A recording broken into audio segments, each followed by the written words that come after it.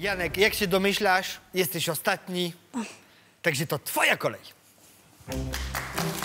Moim zdaniem wszystko jest przemyślane i dobre, tylko chyba się obrażę dzisiaj na kaszę, bo nie wiem, jakaś tak mi trochę pokrzyżowała plany.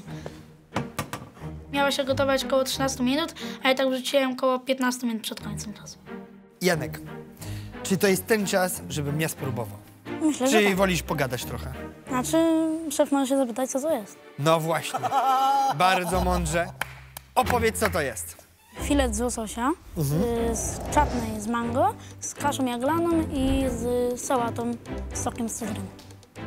To co, mogę już próbować, czy jeszcze mam ci zadać pytania jakieś? Nie, może pan już próbować. Dobra.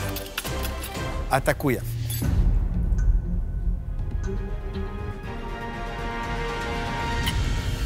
Kolor jest idealny.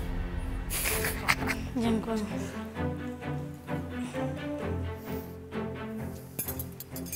Łosoś gołym okiem widać, że to jest soczysty. Kasza jaglana jest ugotowana w punkt. Jezu, myślałam, że surowa. Nie, nie, jest idealna. Dziękuję.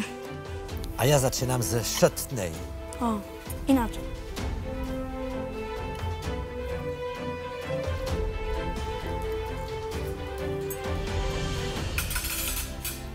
Trochę mi żal, Janek.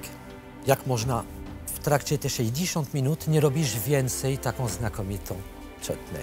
Powinieneś to robić więcej, bo ona jest taka dobra, że to komponuje cały dań. To jest bardzo trudno do wykonania. Ronaldo w kuchni, przyjacielu. Dziękuję. Dziękuję.